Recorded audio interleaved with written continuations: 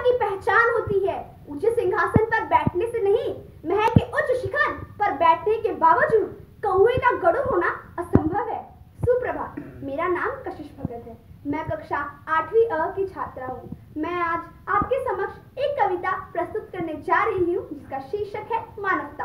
मानवता अपना ले बंदे, मानवता अपना ले बंदे, मिट जाएँगे सारे फंदे मिट जाएँगे सारे फंदे प्रभु ने तुझको जन्म दिया है तुझ पर ये उपकार किया है, जिसने मानवता अपनाई, उसने जीवन का उद्धार किया है। छोड़ के सारे गोरख धंधे, मानवता अपना ले बंदे, मानवता अपना ले बंदे। मिट जाएँगे सारे फंदे, मिट जाएँगे सारे फंदे। मानवता है एक सवेरा, ना कुछ तेरा, ना कुछ मेरा। सब धर्मों से ऊँचा देखो, सेवा के लटका के फंदे। मानवता अपना ले बंदे, मानवता अपना ले बंदे। मिट जाएँगे सारे फंदे, मिट जाएँगे सारे फंदे। मानवता है प्रभु का दर्शन, दिन दुखी का करके जीवन को तो शुद्धि दे दे मानवता का कर पुण्य संपन्न।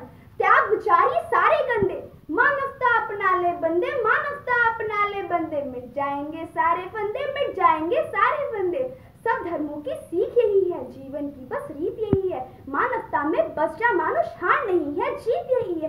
हार नहीं है, जीत यही है। बंद करो सब काले धंधे। मानवता अपना ले बंदे, मानवता अपना ले बंदे। मिट जाएँगे सारे फंदे, मिट जाएँगे सारे फंदे। चारों ओर है घुप अंधेरा कुलशित मन का कुत्से टेरा।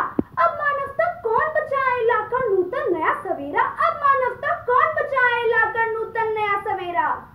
कलुष विचार को करके मंदे मानवता अपना ले, बंदे मानवता अपना ले। बंदे मिट जाएँगे, सारे फंदे मिट जाएँगे, सारे फंदे धन्यवाद।